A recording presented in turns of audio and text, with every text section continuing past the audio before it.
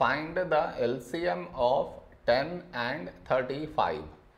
To find the LCM, for that we should frame it in this way 10 comma 35.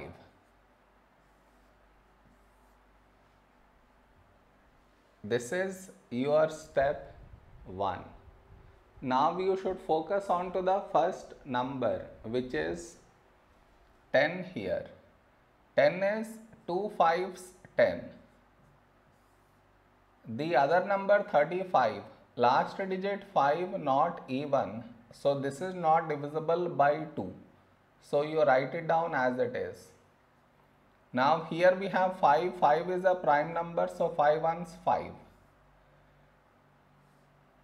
The other number 35, when do we get 35 in 5 table? 5 sevens 35. Now we got 1 here. So focus on to the next number 7. 7 is a prime number so 7 ones 7. So we got 1 in both the places. So our LCM is LCM is the product of these numbers that is 2 into 5 into 7 when we multiply these numbers we get 70 is our LCM